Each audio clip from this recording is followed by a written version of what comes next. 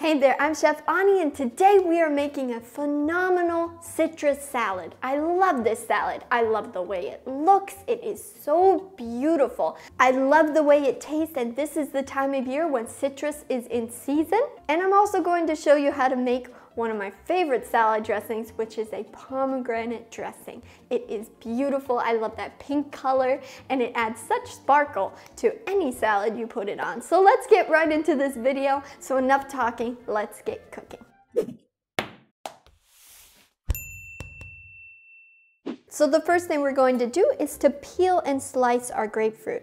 So I just like to take off a little bit of the top, just enough so you start to see it, and then I like to take off the bottom as well, so I have a flat surface to work with.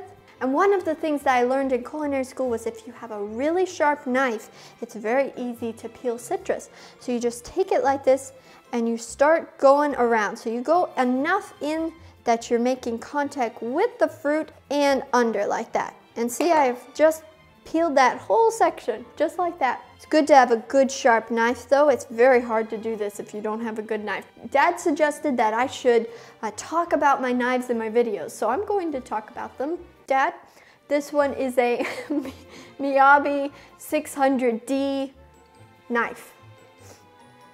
Six inch. I like this one because it has a very uh, small blade. I have very small hands and I need a smaller knife. So that's why I like this, is if it gets too long, it just gets kind of out of hand for me. Then you can go around, I like to flip it over and get the parts that I missed. So don't worry if you miss some parts. And then we're just going to slice it. Next, we're moving on to an orange. You can do the exact same thing with the orange. It's funny, this is a pretty red orange. Do you see this? All right, and then we just put it on here. It's really like art. We're creating art here. We were actually looking for a blood orange in the grocery store, but they didn't have any of those, so, but they had raspberry oranges, so that's what one of these is. And I don't think I've ever tried a raspberry orange. So I can't wait to try it, but look, oh, look at this color. Beautiful. It's amazing how much color is in fruit, huh? You know, God could have made everything brown, right? And the last one we're going to do is a tangerine. The nice thing about this is once you have this knife uh, skill learned, you can do it with all sorts of citrus, so it's very helpful. You just want to cut away from your body. Make sure you're not cutting in. We are adding pomegranate seeds to this salad, and we're just going to cut off the top and bottom just like we did with the citrus. But instead of peeling it, we're just going to score it four ways. So a nice way of getting the seeds out of the pomegranate is to just break it all up underwater so that you don't get it all over yourself and totally all over your kitchen. A lot easier to do it this way. Oh, guess I, I popped one right onto the plate. Super efficient here.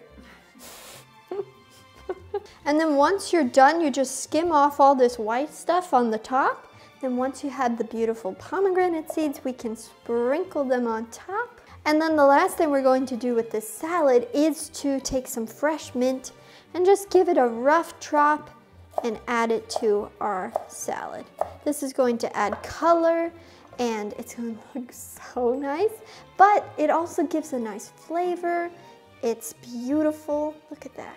So now that we have this beautiful salad, we're going to move on to our dressing. So we're going to start with some pomegranate seeds, some maple syrup, but you could use any kind of sweetener that you have or like, and some lemon juice pomegranate mixture has been blending. You can see it's a lot smoother. We are going to add in our olive oil a little bit while the blender is running. And this is because we want our salad dressing to emulsify. Isn't that a beautiful dressing? And you can serve that with the salad or really any salad you want to, and it will just brighten up the plate. Oh, this looks amazing. Now let's see if it tastes as amazing as it looks. Mmm. That is so good.